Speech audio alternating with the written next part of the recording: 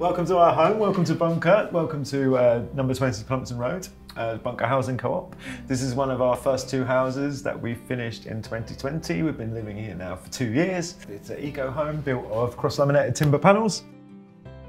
So well, how does Bunker work? Basically, Bunker, um, our housing co-op, we are what's called a fully mutual housing co-op. So as individuals, we weren't able to get a mortgage, but Registering as a co-op, you become a legal entity and that allows you to take out a commercial mortgage. So basically, the bottom line is being a co-op allows us to do things collectively that we couldn't do individually.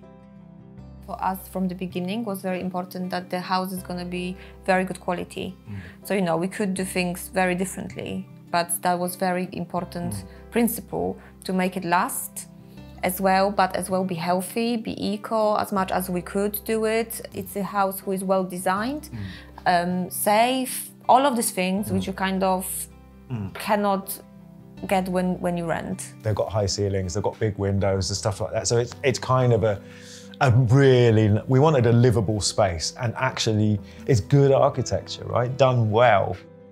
You come in here, this is the main open plan living area. Lovely big windows. This is one of the lovely things about the house, isn't it? Yeah, we, we, love it because in spring and summer we actually got it open very often, so it kind of makes that inside outside living possible, and it's really lovely. And then out the front, there's a kind of shared communal garden yeah. area, isn't there? Yeah. Um, so every, you know, there's that kind of bit of everyone's got their own yes. front door. There's a bit of private space, bit of communal space. So each house has got a budget to do their own kitchen, and we, we chose this one, didn't we? Um, which we like very much. Everything is electric here, there's no gas. No gas, yeah. Um, and so induction hob and nice um, dishwasher sink. And then we've got a nice hut hole here where you've got a fridge freezer and a washing machine and a little place where I could stuff all my tools. Aga and I, we sanded these walls, yeah. didn't we? Um, and uh, Paddy, my son, and I mostly Paddy. He's a joiner and we made all the skirting boards and the window reveals. Who is as well a member of Bunker. Well, yeah. yeah.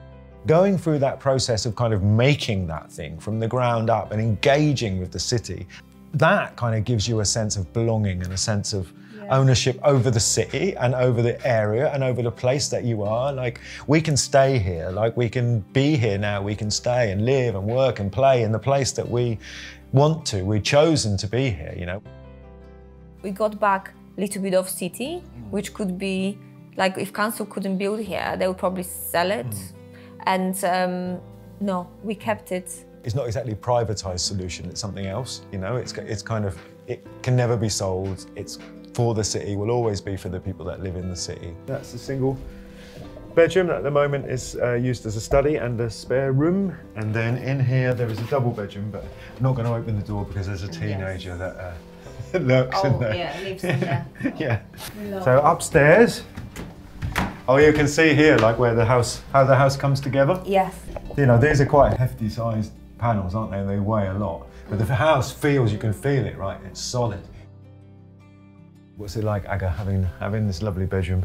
Yeah, it's it's it's one of my favorite rooms. Yeah. There is not a day we take it for granted. Yeah. It really is not. Um, Feels like our house, right? And it's mm. ours as long as home, we want our it. Home. Our home. Because it's not our house, but it's our home. That's and right. I think that's the difference.